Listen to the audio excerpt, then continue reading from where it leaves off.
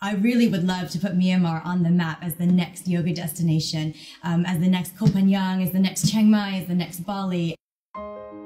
So I started practicing in 2007, about nine years ago, and it was really because I was a management consultant. I was traveling four days a week to different clients. I was a consultant. I was working completely um, in a desk job, and I just felt closed. I felt tight. I felt like I needed a an opportunity to stretch my body and more than that to center myself, to start to clear my mind. It was a really high stress job. I came to Yangon just with an open slate, knowing there were so many opportunities and teaching yoga was really just something that I wanted to do on the side and it grew so quickly because I think the community here is so vibrant and in a city like this where there's a lot of traffic, it's quite chaotic and there's a sense of wanting to belong to something.